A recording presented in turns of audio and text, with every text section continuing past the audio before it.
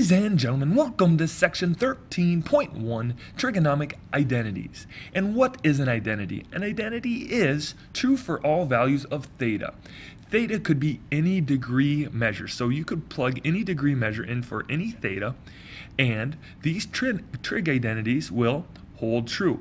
Now these are just the basic trig identities that we should know how to handle and how to work with just know that there are more trig identities as you keep going. However, with that being said, you know how to use the trig identities, but we're going to show you that you can use trigonomic functions to help you with the trig identities. So now our sine, cosine, and tangent all come back, or SOHCAHTOA, sine is opposite over hypotenuse, cosine is adjacent over hypotenuse, tangent is opposite over adjacent using right triangles. With this, you also need to know cast, right? We spell cast right here, C-A-S-T, starting in the fourth quadrant. And what that describes to us is what's positive and negative. So in quadrant one, where we have the A, A stands for all. All trig functions are positive. So sine, cosine, and tangent are all positive. Now as we move over to 90 degrees. We're in quadrant two. Now, where we have this S, only the sine and its opposite cosecant are positive. The rest are negative. Then we keep going to 180, quadrant 3, where it's the T. T stands for tangent. Tangent and its opposite, cotangent, are positive. Sine and cosine are negative. And then finally in quadrant 4, where we have the C, the C stands for cosine, so only cosine is positive, so cosine and secant are positive, sine and tangent are negative. With 1 and 2, we are asked to use 0 degrees is less than or equal to theta is less than or equal to 90 degrees. What does that mean? that means that we are using the first quadrant. And why are we using the first quadrant? Because if we go back a slide, notice how 0 degrees from 90 degrees is in quadrant 1. So we want to use quadrant 1 for the first two problems. Also note that all of the trig functions in quadrant 1 are positive. So we are staying in quadrant 1 for the first two problems and all the trig functions are positive. So let's handle number one here. Find cosine theta if sine theta equals 2 thirds. First, we start with this sine theta equals 2 thirds. What is sine? Sine is opposite over the hypotenuse. So we go to our right triangle. We draw this right triangle if you want. Put theta in a non-right angle and then we have 2 is opposite. So opposite of theta is that side right here. And then we have 3 for the hypotenuse. So the hypotenuse is there. Now we do not know what this side is, so we have to use Pythagorean to find that. Remember, a hypotenuse is c squared, or the 1 by itself. So it is 2 squared plus b squared equals 3 squared. We simplify. 4 plus b squared equals 9. b squared equals 5. Remember, we have to solve for b, so b equals the square root of 5. So we put it on our triangle. The square root of 5 goes right here. Now we are asked to find cosine theta. Well, cosine theta is adjacent over the hypotenuse. So we go back to our theta. Here's our theta.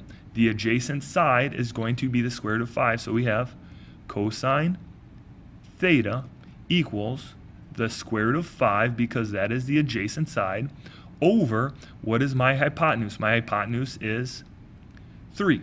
So our answer is cosine theta equals square root of 5 over 3.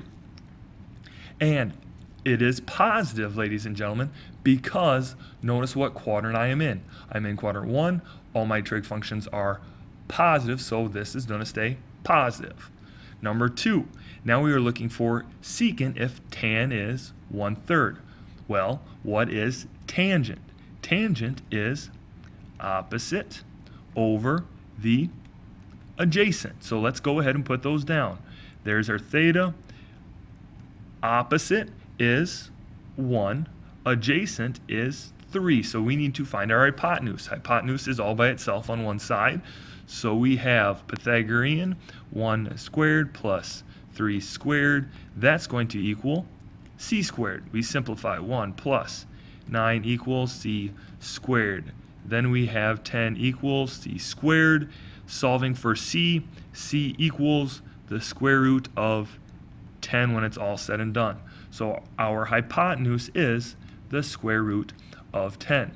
What are we looking for? We are looking for secant. Well, secant is hypotenuse over the adjacent. So from our same theta, we have hypotenuse, which is now the square root of 10. So it's secant theta equals the square root of 10 over what is our adjacent side? 3. So it's 3.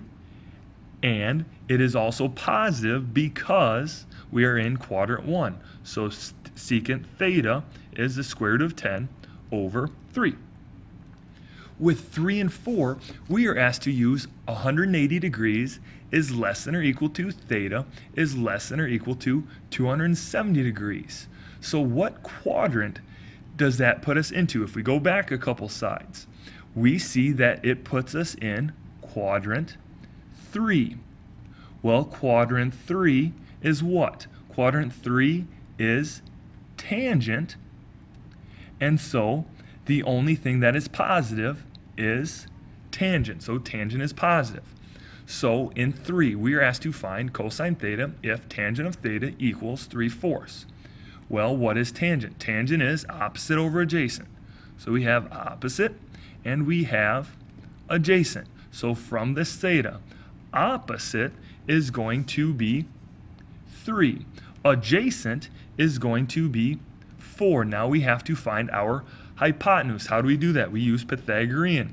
Looking for hypotenuse so it goes by itself. We have 3 squared plus 4 squared equals c squared. We have 9 plus 16 equaling c squared.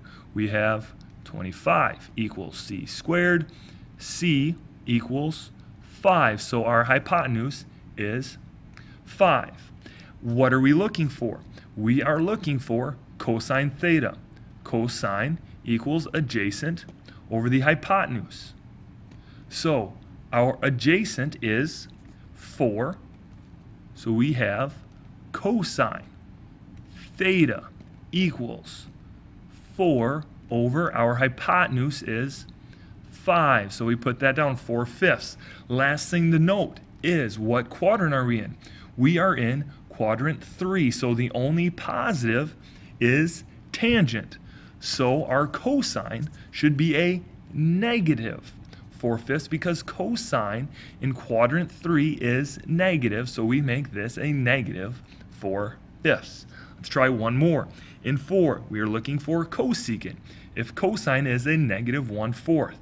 Ladies and gentlemen, do not worry about that negative. Just play it as is. Cosine is adjacent over hypotenuse. So adjacent is going to be 1. Our hypotenuse is going to be 4. Let's rock and roll with Pythagorean. We have 1 squared plus b squared. You could pick any letter there. I just happen to pick b equals 4 squared. We have 1 plus b squared equals 16. b squared equals 15. We have b that equals the square root of 15. So now this side equals the square root of 15. What were we asked to find? We were asked to find cosecant. Well, cosecant equals hypotenuse over opposite. So hypotenuse is 4, so we have cosecant of theta equals 4 over the square root of 15. Before we get into positive and negative, can we have a square root of 15 on the bottom? No, we cannot have a square root on the bottom, so we take the top and the bottom times the square root of 15. Just a little bit of review here. So now we have the cosecant of theta equals 4 times the square root of 15 over just 15 because 15 times 15 is 225. Square root of that is 15. So cosecant theta equals 4 times the square root of 15 over 15. But is it positive or negative? Cosecant is the opposite of sine. So sine is negative in quadrant 3. So we make this guy negative. Always make sure to double check if it's positive or negative in your quadrants.